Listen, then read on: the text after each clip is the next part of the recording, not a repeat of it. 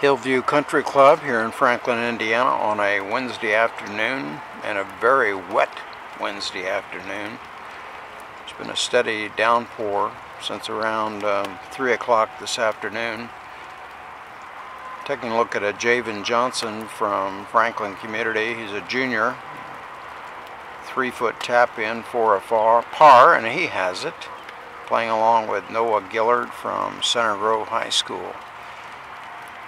Center Grove, Franklin, and Columbus North in this triangular get-together today. Wishing for better conditions, that's for sure.